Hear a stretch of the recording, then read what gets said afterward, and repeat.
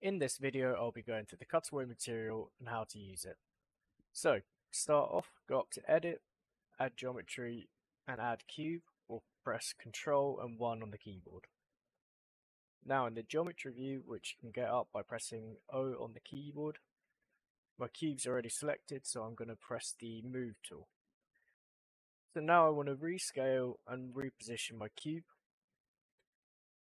And how the cutaway material works is that anything within the geometry that you've applied the material to will then be cut away.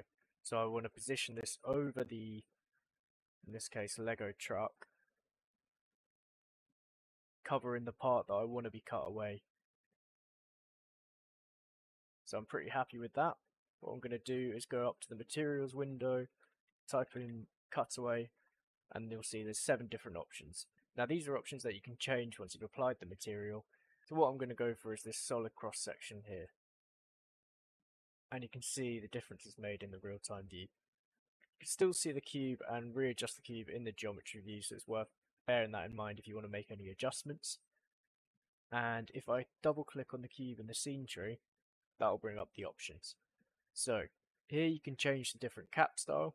If you wanted to have no caps, inherit caps. Uh, you can change the color. You can have it as a material.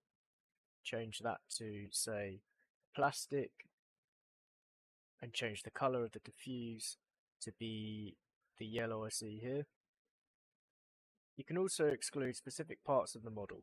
So if you come to this plus sign here, you can either select the part from this window or can select straight on the real-time viewer, straight on the model, and it will highlight that for you. Just press OK.